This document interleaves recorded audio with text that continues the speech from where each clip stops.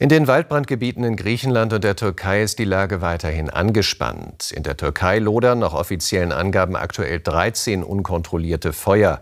Nur für die Gegend um Antalya gaben die Behörden Entwarnung. In Griechenland wurden auch heute wieder Ortschaften geräumt. Besonders die Halbinsel Peloponnes ist von den Feuern betroffen. Bei Athen kam ein Brandhelfer ums Leben. In der Nacht zu Samstag wüteten in Griechenland die Feuer weiter. Besonders betroffen die Insel Euböa. Hier mussten mehr als 1100 Menschen mit Schiffen aus Küstenorten gerettet werden, weil die Flammen den Landweg versperrten. Der für die Insel zuständige Gouverneur setzte am Samstagmorgen über Facebook einen verzweifelten Hilferuf ab und forderte mehr Löschflugzeuge. Helikopter waren besonders an zwei Orten rund um Athen im Einsatz, auch heute Morgen. Hier nähern sich die Flammen der Hauptstadt Athen.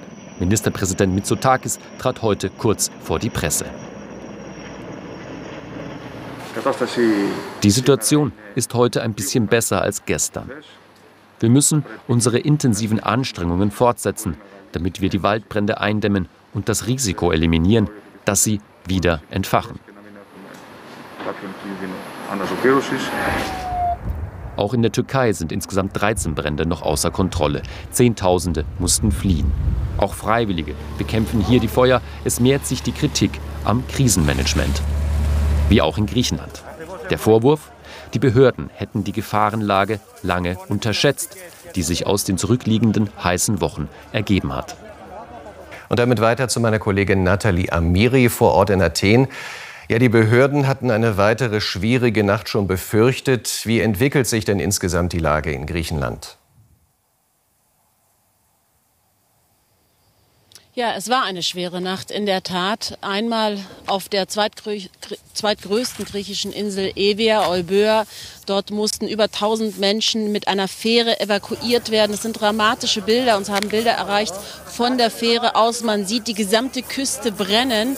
Die Brände auf Evia konnten bei Weitem nicht eingedämmt werden. Sie sind außer Kontrolle und sie durchkreuzen von Osten nach Westen die gesamte Insel. Das heißt, alle Menschen, die im Norden wohnen, können überhaupt nicht mehr Festland erreichen. Man kann sie gar nicht mehr evakuieren, außer über den Seeweg.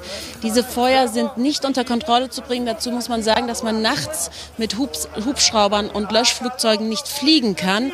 Das heißt, in der Nacht werden den Flammen immer sich selbst überlassen oder den freiwilligen Helfern, die auf dem Boden eben mit Feuerwehr gemeinsam diese Feuer versuchen zu bekämpfen. Gerade in Attika ist es ihnen ein wenig gelungen. Die Feuer sind etwas eingedämmt worden, noch weit nicht unter Kontrolle gebracht worden, aber eingedämmt worden. Nur es gibt einfach viel zu wenig Löschflugzeuge, um diese Brände in ganz Griechenland, die gleichzeitig entflammt sind, einzudämmen.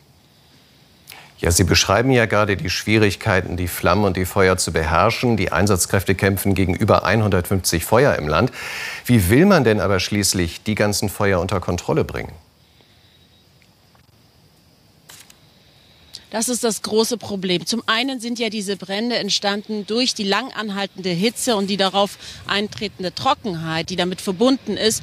Und es gibt hier kaum Luftfeuchtigkeit. Das ist, ist enorm trockenes Klima und das ist natürlich der Nährboden für jeden Brand, für jedes Feuer. Und diese Feuer entstehen immer wieder in ganz Griechenland. Und wir waren gestern den gesamten Tag bis in die Nacht unterwegs in Attika, in den Vororten Athens und wir konnten es selber beobachten. Es wird ein Brand gelöscht und dann ziehen die Löschflugzeuge ab, die Feuerwehr zieht ab, geht zum nächsten Brand und dort kokelt es aber noch und, und, und es gibt noch Funken. Und dann entsteht der Brand wieder aufgrund der Hitze, es regnet nicht und die Löschflugzeuge sind aber abgezogen. Es gibt 75 Löschflugzeuge, griechische Löschflugzeuge und Helikopter sind die offiziellen Angaben, nur 15 sind aber im Einsatz und die Bevölkerung deren kritische Stimme immer lauter wird, fragt, wo sind die anderen?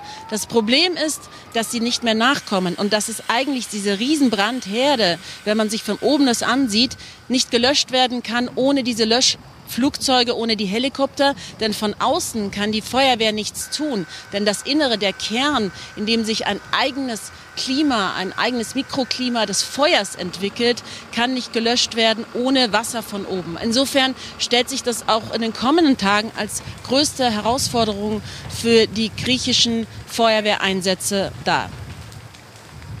Sie sagen es, in der Bevölkerung gibt es mittlerweile Kritik, auch massive Kritik an der Regierung und auch dem Katastrophen- und Krisenmanagement. Was wirft man denn der Regierung in diesem Fall konkret genau vor? Es gab 2018 einen sehr, sehr schlimmen Brand, ein sehr schlimmes Feuer, in dem mehr als 100 Menschen umgekommen sind. Das ist ein kollektives Trauma hier in Griechenland. Die Regierung hat sich vorgenommen, dass man so wenig wie möglich Todesopfer beim nächsten Brand, bei den nächsten Feuern in Griechenland zu verzeichnen hat. Das ist ihnen gelungen. Bisher wurde ein Todesopfer gemeldet, ein 38-jähriger freiwilliger Feuerwehrmann.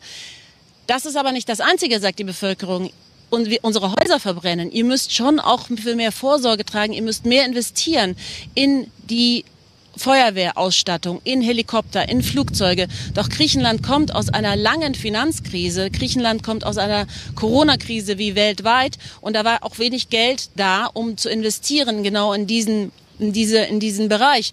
Und die Menschen verlangen jetzt aber in dieser Notsituation, dass es hätte stattfinden sollen. Und das ist das Dilemma, in dem sich auch die Regierung befindet. Sie haben zu wenig investiert, Löschflugzeuge sind enorm teuer und jetzt startet eben der Aufruf, der startet ja schon vor vier Tagen, ähm, an Europa, bitte helft uns, wir schaffen es nicht alleine. Vielen Dank für diese Information, Nathalie Amiri nach Athen.